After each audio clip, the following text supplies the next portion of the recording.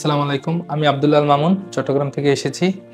দীর্ঘ ছয় মাস Japanese language করার পরে আজকে আমি কাঙ্ক্ষিত বিষয়টি হাতে পাই। আমার এই কাঙ্ক্ষিত বিষয়ের পিছনে পুরো অবদান সান জাপানিজ ট্রেনিং সেন্টারের এখানে সান জাপানিজ ট্রেনিং সেন্টারের দক্ষ টিম যারা আছে, তারা আমাকে অনেক সাহায্য সহযোগিতা করেছে।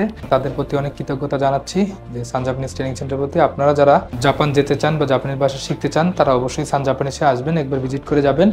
ইনশাল্লাহ ওনারা খুব ভালো ফাইল প্রসেসিং করে, ওনাদের সাথে এসে কথা বলবেন। আসসালামু আলাইকুম।